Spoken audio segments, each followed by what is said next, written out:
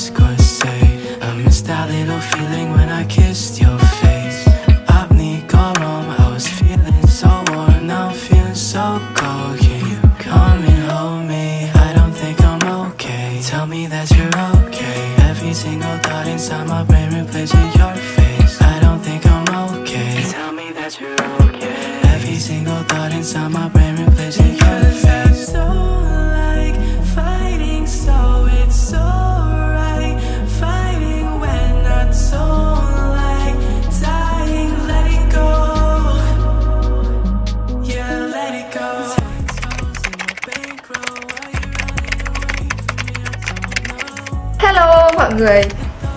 người đã quay trở lại với channel của mình.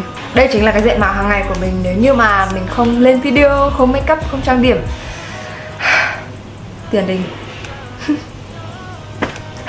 xin chào tất cả mọi người, chào mừng mọi người đã quay trở lại với channel của mình. Video ngày hôm nay sẽ là video những lỗi makeup cơ bản mà mọi người thường gặp. Hôm nay mình sẽ không làm mất thời gian các bạn nữa đâu Phần chào mời thì chỉ có thế thôi. Chúng ta bước vào nội dung chính ngày hôm nay luôn Bởi vì mình nghĩ rằng đây là nội dung khá là dài. Ok, bước đầu tiên. Điều đầu tiên mà mọi người hay gặp phải đó là cái lớp nền của mọi người khi đánh lên thì nó có vẻ như là không được smoothie Kiểu nó hơi sủi mốc. Thì đó là bởi vì mọi người làm sạch không tốt Nhớ làm sạch thật kỹ cả dầu tẩy trang và sữa rửa mặt trước khi makeup nha sáng dậy vẫn bẩn nha mọi người. Bẩn như thường luôn á. Vấn đề thứ hai làm cho cái lớp nền của mọi người bị lỗi đó là mọi người bị thiếu ẩm hoặc là dư ẩm. Ở đây bây giờ là mùa đông rồi thì cái bước cấp ẩm của mọi người phải kỹ hơn một chút. Nếu như mùa hè thì mọi người chỉ sử dụng cái này thôi. Mình hay chia sẻ cho mọi người á. Thì da chắc chắn là nó sẽ không đủ ẩm và khi mà đánh lên thì cực kỳ dễ bị mốc rồi. Cái này chỉ phù hợp trong mùa hè thôi. Còn mùa đông thì sao? Ngoài cái này ra thì mọi người phải sử dụng thêm một cái kem dưỡng nữa. Như thế thì da mới đủ ẩm. Nên là bên này chắc chắn đánh lên sẽ mốc nền còn bên này thì sẽ không bị mốc thứ ba đối với lớp nền ấy thì mọi người hay gặp phải đó là mọi người hay coi nhẹ cái bước kem lót. À, thật ra ấy, đối với mình mà nói thì cái kinh nghiệm mà mình make up thật ra mình không phải là một make up artist chuyên nghiệp nhé bất cứ video nào về make up thì mình cũng sẽ chia sẻ thật lòng như thế với mọi người. Hay make up ấy thì mình thấy rằng kem lót nó không đơn giản chỉ là một cái bước thừa đâu. Nó là một cái bước nó quyết định là lớp nền của mọi người. Nó có tệt vào da không? Nó có, gọi là, trung hòa những khuyết điểm ở trên da. Nó sẽ giữ được cái lớp nền của mình lâu hay không? Nên là việc mà mọi người không sử dụng kem lót, dùng cái kem lót nó không đúng với cái tình trạng da của mọi người ấy, thì sẽ dẫn đến được cái việc là lớp nền của mọi người, thứ nhất là nó dễ kích kỳ thứ hai là nó kiềm dầu không tốt. Cũng như là nó sẽ bị ờ, trôi hoặc là bị ờ, nó bị vỡ nền rất là nhanh. Nếu như mà với kem lót thì mọi người có thể giữ được cái lớp nền hoàn hảo khoảng ừ, um, 4 cho đến 5 tiếng. Nhưng mà nếu như mọi người không dùng kem lót ấy thì mọi người chỉ có thể giữ được khoảng tầm 1 cho đến 2 tiếng thôi. Da của mình hôm nay thì cái vùng này nó đang bị mụn kiểu nó bị đầy mụn lên ấy. Nên là mình sẽ sử dụng cái kem lót GC màu xanh dành cho da mụn. Nếu như các bạn gặp tình trạng như là thâm nám thì mọi người có thể dùng màu tím nhé Tiếp theo đối với nền thì mọi người hay gặp phải cái tình trạng mình cũng đã từng trải qua nên là mình rất là rõ về cái vấn đề này đó là mọi người chọn nền quá trắng hoặc là quá tối nhưng mà mình thấy là thông thường thì mọi người sẽ chọn quá trắng bởi vì mọi người thích trắng. À, nhưng mà khi mà cái nền của mọi người nó hơi gọi là nó sáng hơn so với những cái vùng da khác ấy, thì tổng quan cái mặt của mọi người nó già và nó rất là giả ví dụ như là cái mặt bên này trước đây ấy mình hay gặp vấn đề là mặt trắng như ma. Đấy nó sẽ như thế này nó sẽ trắng hơn hẳn so với cái mặt của mình như thế này. Còn bây giờ ấy, sau khi mà mình rút kinh nghiệm ra rồi thì mình đã biết cách lựa chọn để cái tông nền phù hợp nhất với mình. Mình là thuộc tông da trung bình sáng, không quá trắng nhưng mà cũng không quá tối, cũng không quá vàng ấy Thì mình sẽ sử dụng cái kem nền nhà Perfect Diary kết hợp với kem nhà Castellan Hai cái sản phẩm này dùng vào mùa đông thì rất là phù hợp nó bởi vì nó không phải là cái dòng quá kiềm dầu, quá khô đâu. Mà cái sản phẩm này, hai sản phẩm này khi kết hợp thì nó vẫn tạo một cái độ dưỡng ẩm ở trên da ấy. Thì à, cái tông của nhà Perfect Diary mình sử dụng là một cái tông nâu vàng, còn cái này là tông trắng luôn. Thì mình sẽ trộn lại với nhau.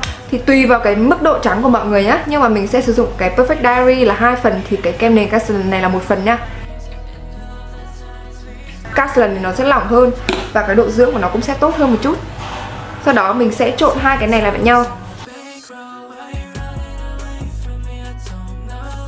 Thế cho bên này rõ ràng thì nó sẽ tệt về da cổ của mình hơn. Nhìn ra mặt da cổ nó không quá lệch tông. Và khi mình phủ phấn cũng như là sau một thời gian nó hạ tông nữa thì nó sẽ vừa vặn. Còn bên này thì rất rất là trắng. Cho dù mọi người để nửa ngày nó hạ tông xuống thì nó vẫn rất rất là trắng. Nên là mọi người lưu ý ở cái lựa chọn kem nền nha. Đối với kem che khuyết điểm thì sẽ có một cái lỗ mọi người thường gặp. Đó là mọi người che quá nhiều mọi người che quá nhiều và hy vọng là che nhiều thì nó sẽ che được nhiều khuyết điểm và nó sẽ che được cái à, quầng thâm mắt thì tốt hơn. Nhưng mà thực tế thì không phải vậy. Đây mình sẽ tán cho mọi người thấy nhá. Việc che mà càng nhiều ấy thì sẽ, đầu tiên là sẽ làm cho cái thâm thì nó cũng vẫn không che được đâu mọi người vẫn không che được quá nhiều đâu. Đấy. Nhưng mà nó sẽ làm cho cái việc đó là nhìn cái tổng thể khuôn mặt rất là dày và nhìn rất là già, rất là giả và chưa kể đến là việc cái chất kem quá dày nó sẽ đọng rất là nhiều vào trong những cái nếp nhăn li ti ở cái vùng mắt này, đuôi mắt này, hay là ở cái phần rãnh cười này. Khi mọi người cười, mọi người hoạt động cơ ấy, thì nó sẽ dồn kem vào trong những cái kẽ đấy, nhìn rất là mất thẩm mỹ. Thay vào đó thì mọi người có thể dùng một cái đường đơn giản cũng như là tiết kiệm được cái kem che khuyết điểm cho mình. Đó là mọi người chỉ vẽ vào ở cái đường. Sự, đường này thôi cái đường ranh giới giữa cái bọng mắt và cái hốc mắt của mọi người thôi. Còn bên dưới này thì chỉ cần một đường như thế này thôi. Mỏng thôi. Và mọi người hãy để nó trên da khoảng tầm 1 cho đến 2 phút, sau đó mọi người mới tán ra nhé đấy, sau đó thì mọi người chỉ cần tán nhẹ, thật nhẹ. Và tập trung vào ở cái khu vực của cuống thâm mắt thôi. Mọi người có thể thấy là cái độ che phủ thì nó cũng gần như là y chang nhau, tuy nhiên thì bên này nó sẽ tự nhiên hơn so với bên này và cái việc mà nó đọng những cái chất phấn, chất kem vào trong những cái rãnh nhăn thì nó sẽ thấp hơn. Bởi vì rõ ràng là về cái độ che phủ khuyết điểm ở bên này nó sẽ mỏng hơn, chứ không dài như bên này. Và mọi người tạo khối quá là nhiều ở cái phần xương hàm và quá là đậm. Bởi vì cứ nghĩ rằng là khi mà mình làm như thế này ấy, thì cái mặt của mình nó sẽ thon gọn hơn. Và ở cái phần mũi ấy thì mọi người hay có một cái sai lầm, đó là mọi người sẽ vẽ một cái đường thẳng như thế này. Mình cũng hay gặp cái này lắm đấy. Còn đây là mình khi mà mình đã rút ra được cái kinh nghiệm tạo khối để gương mặt nó tự nhiên nhất, Đó là mình sẽ dùng một cái bạc tạo khối Nó có cả kem và có cả phấn. Tuy nhiên thì cái màu của nó sẽ thiên về xám đâu, Chứ không phải là màu đen hoặc là màu nâu cam. Như ở đây mình sẽ sử dụng cái này. Đấy, Nó thật nhẹ nhàng thôi mọi người ạ. Mình sẽ tán từ trong ra ngoài nhé Đấy, mọi người vẽ cho mình một cái tam giác rồi cái phần hút mắt.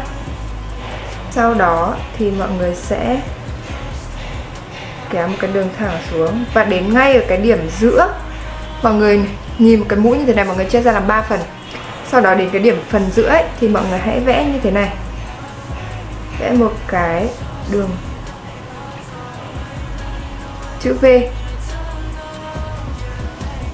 Thẳng đứng như thế này. Sau đó thì mọi người tán ra.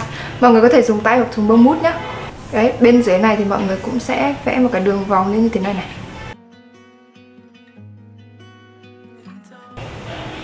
Và ở phần chóp mũi thì mọi người cũng sẽ vẽ một cái phần vòng xuống để nó tạo thành một cái hình tròn ở cái đầu mũi như thế này nhá. Đây. Đây, đây chính là hai thành quả. Kết quả của việc sử dụng như thế này và một cái việc nó có một cái chút chút chút kỹ năng tạo khối thì mọi người có thể thấy là nó khác hẳn nhau, một bên là tự nhiên hơn và nó tạo cho mình một cái cảm giác nó thật hơn, và một bên thì nó rất là giả chân theo một cái đường sọc như thế. đối với kẻ lông mày ấy, thì à, một cái vấn đề hay gặp đó là mọi người không cạo cạo lông mày mình hay gặp cái này lắm. Cái đây thì mình rút kinh nghiệm rồi. Nhiều người phàn nàn quá nên mình rút kinh nghiệm rồi. Mọi người không cạo lông mày thì làm cho cái khuôn lông mày của mọi người nó lộn xộn. Nó hơi bị to thì mọi người mà vẽ theo cái khuôn lông mày đấy thì nó sẽ làm cái khuôn mặt của chúng ta nó rất là thô. Thì mọi người nên đi cạo đi. Và cạo đi rồi thì mọi người chỉ cần vẽ theo cái khuôn lông mày mọi người đã cạo thôi. Và vấn đề thứ hai đó là mọi người chọn cái màu quá đậm, không trùng màu tóc. Một cái tip tự nhiên nhất đó là lông mày màu gì thì tóc màu đấy hoặc tóc màu gì thôi thì lông mày màu đấy. Và lông mày chỉ có thể đậm hơn tóc một chút xíu chứ không để tóc đậm hơn lông mày quá nhiều nhá. Đấy ví dụ như bên này thì mọi người hay hay chơi hay chơi cái màu đen. Đây. Và mọi người vẽ rất rất là đậm. Mình vẽ bột cái này bột thì nó sẽ đỡ bết hơn nhưng mà các bạn mà vẽ bằng chì thì cực kỳ dễ bết. Đấy mọi người sẽ hay vẽ theo cái khuôn cực kỳ to ở lông mày mọc tự nhiên. Nhìn nó rất chi là buồn cười kiểu giống như hai con sâu gióm ấy. Ngày xưa ai mà theo dõi kênh youtube của mình thì ngày xưa hồi mới, mới make up á hồi mới make up mình hay vẽ cái lông mày sâu gióng cực kỳ luôn. Nên là mình hiểu nỗi đau này hơn bất cứ ai. Nó sẽ như thế này mình sẽ trải đi cái phần đầu nhìn cho nó đỡ ngứa mắt hơn nhé mọi người. Còn bây giờ thì mình sẽ lựa chọn cái lông mày của mình nó gần trùng với màu tóc thì cụ thể là màu nâu. Và nếu như mà ở cái chỗ nào mà nó thưa ấy, thì mình có thể chấm vào một chút màu đen. Ví dụ như thế này. Và mình sẽ cố đi theo cái khuôn tự nhiên của mình chứ mình không cố tạo một cái khuôn gì nó nó nó quá là cứng nhắc cả. Và mình sẽ kẻ đậm ở đuôi và còn sót lại một chút phấn thì mình sẽ đổ lại ở phần đầu lông mày. Và nếu như mà chỗ nào mà chưa đều ấy thì mọi người có thể trải cho đều ra nhé cái bột này mình dùng thì nó mịn quá rồi, nó không để bị vón ấy. Nên là cũng không có gì để mà trải nữa. Khác nhau hẳn đúng không mọi người? Đối với phần mắt thì cái vấn đề mọi người hay gặp phải đó chính là chọn sai màu mắt cụ thể là mọi người chọn màu quá rực rỡ, quá đậm.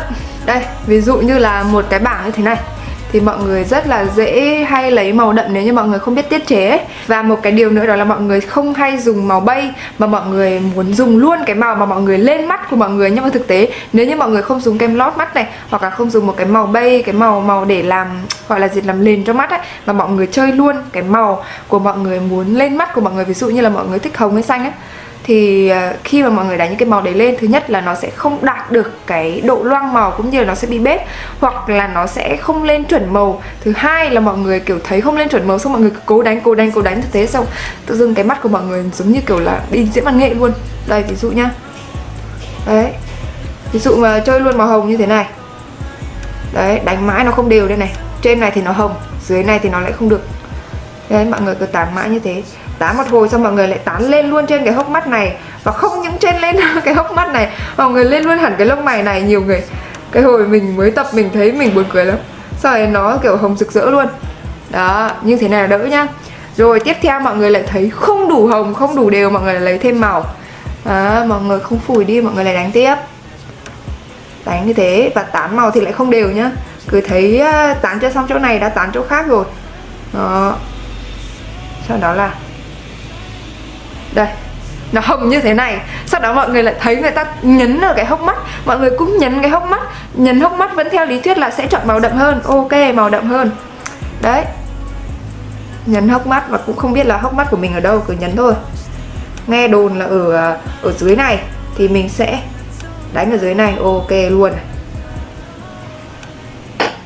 đấy đấy là cái kiểu mà người bắt đầu mới make xong cứ xem youtube và trên ừ, những cái hướng dẫn make up trên youtube sẽ làm theo như thế này. Và mình cũng là từng bị như thế này rồi cái thời điểm mình mới tập make up mình cũng hay bị như thế này lắm nên là mình hiểu tâm lý của mọi người.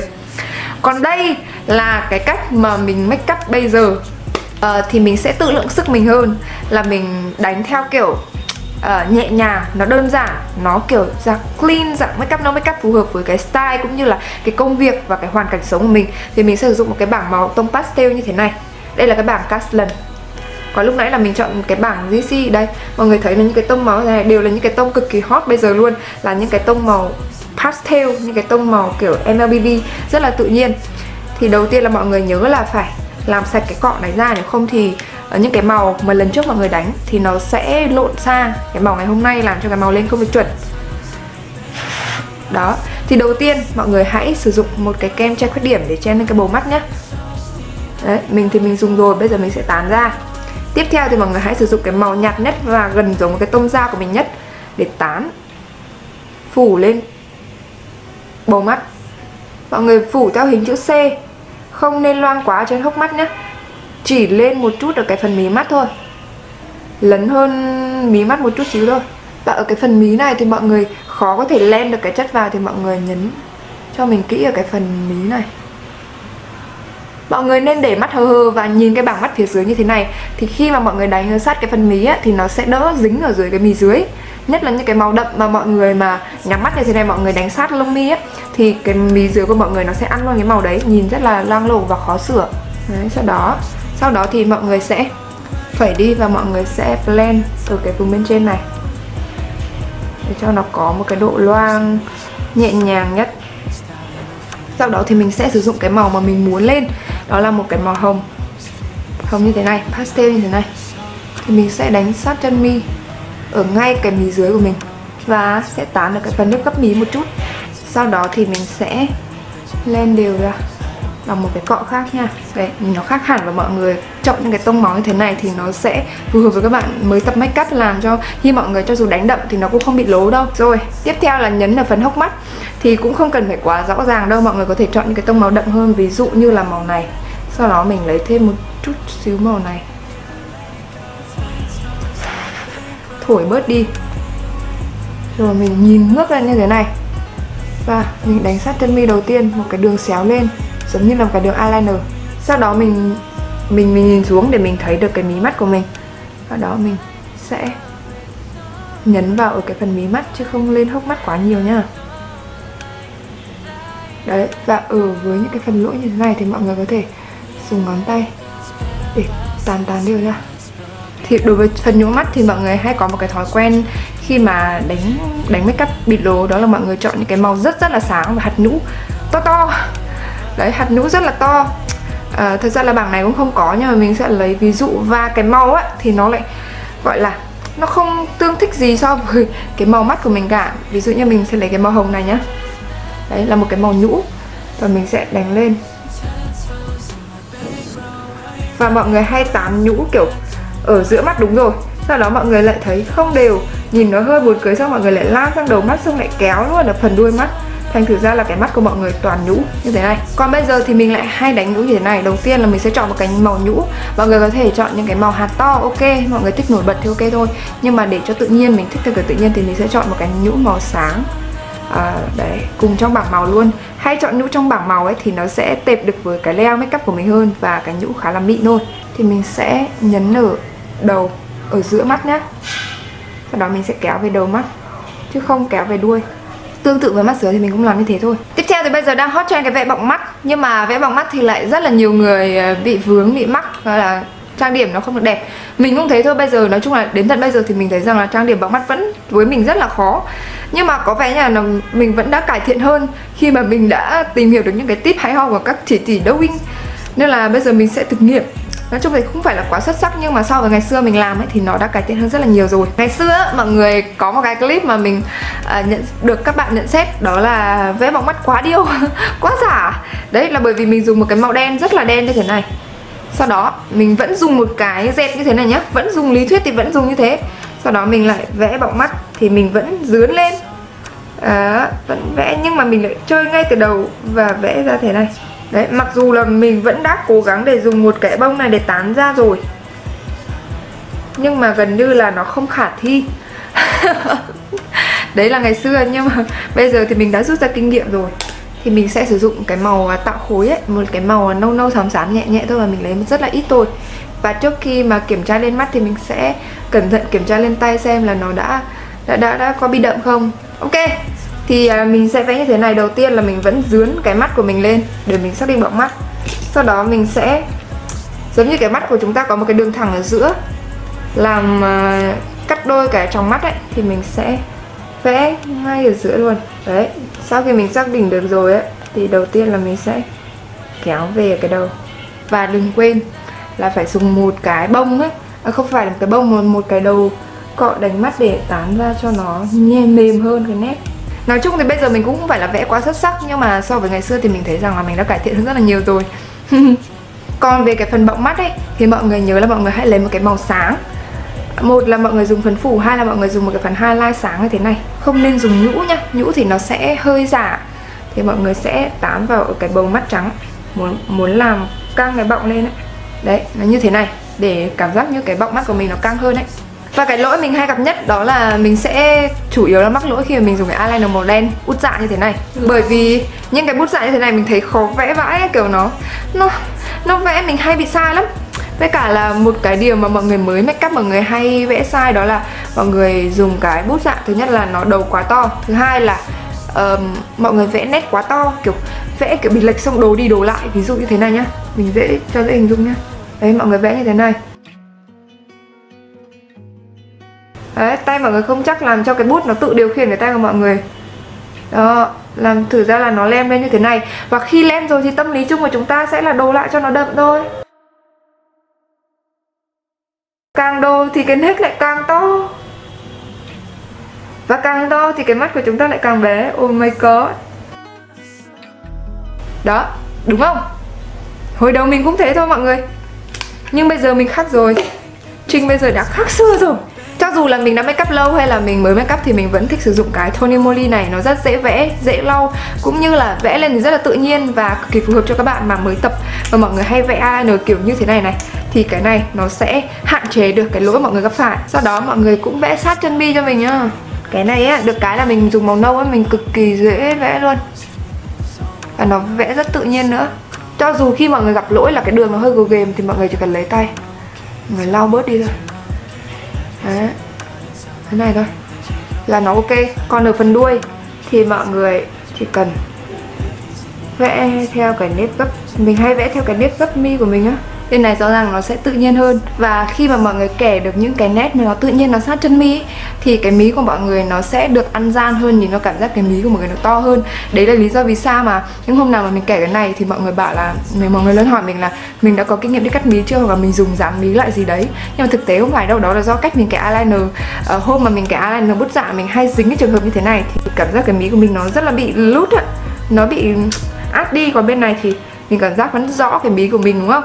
Rồi, đến cái bước bấm mi thì cũng có một số vấn đề Thứ nhất đó là mọi người để cho cái kẹp mi của mọi người bẩn, khó bẩn như thế này Đấy là cái nguyên do khi mọi người kẹp mi ấy Thì nó rất là dễ gãy mi Đây là mọi người nhớ lau đi khi mà mọi người đã kẹp xong nhá Khi mà mọi người bấm Thì mọi người hay gặp tình trạng thứ nhất là mọi người không bấm sát chân Khi mà mọi người bấm xong Cái lông mi của mọi người nó sẽ gãy đôi Nó sẽ gập đôi và khi mà mọi người chuốt lên thì nó sẽ không đẹp Cái vòng đời của mi của mọi người sẽ rất là ngắn Đây, nó gãy như thế này Khi mà nhìn ngang á nhìn rất là xấu. Tự dưng nó gãy gục nó hướng lên trên luôn. Và thứ hai là mọi người sử dụng những cái mascara mà nó quá ướt giống như là những mascara nội địa chung. Nói chung mascara nội địa chung mình chưa thể cái nào được hết.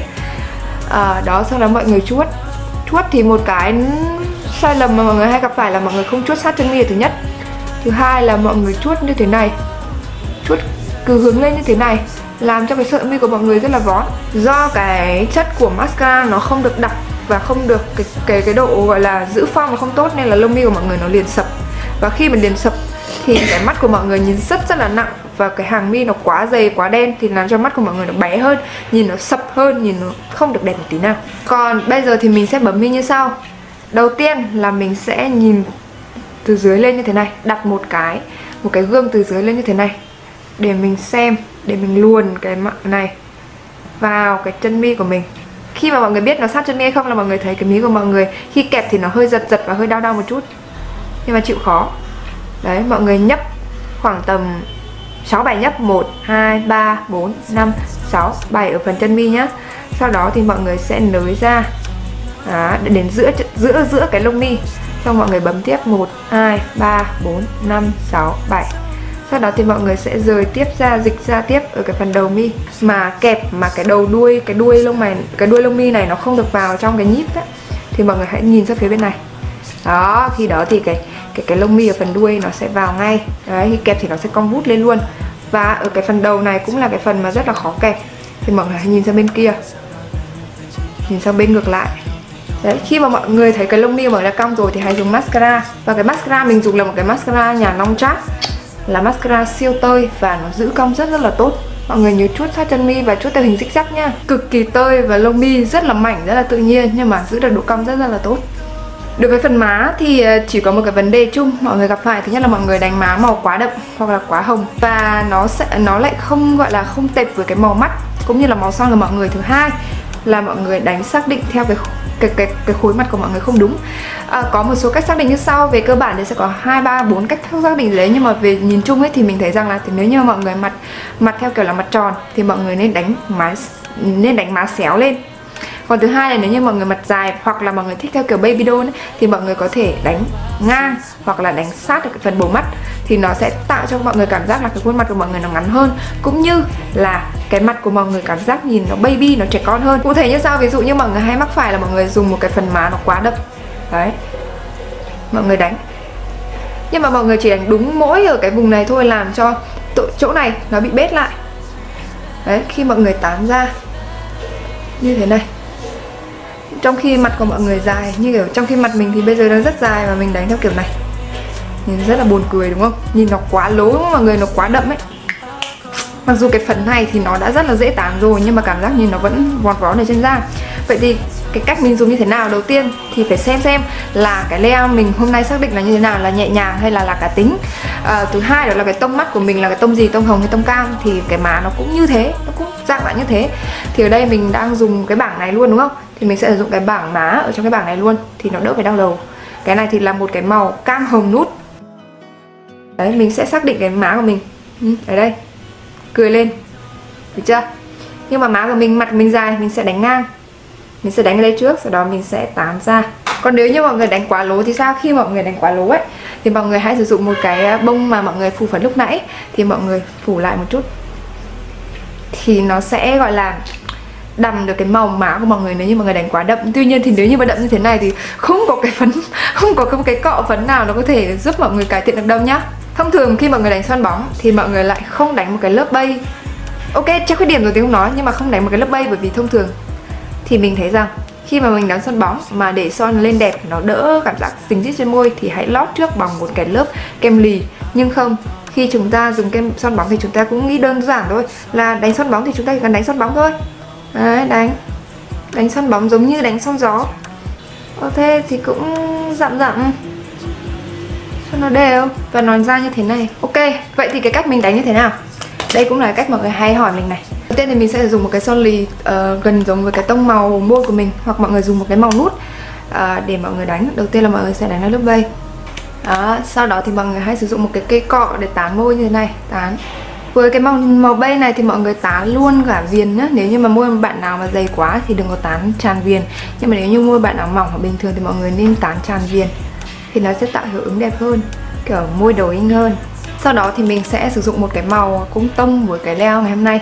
Đó là cái màu mọi người hay hỏi nhất đây, Venus Marble là một cái màu trong như xương. Sau đó thì mình cũng sẽ dùng cái này. Để blend ra.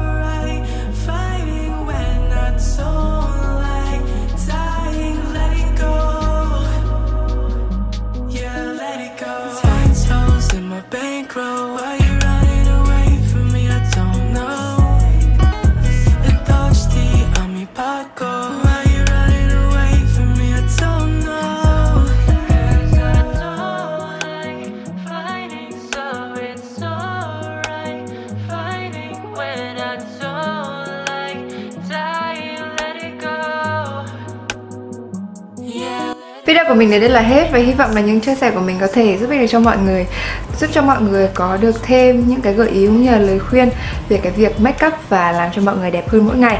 Và hẹn gặp lại mọi người trong những video sau, đừng quên cho mình xin một like và subscribe nhé. Bye!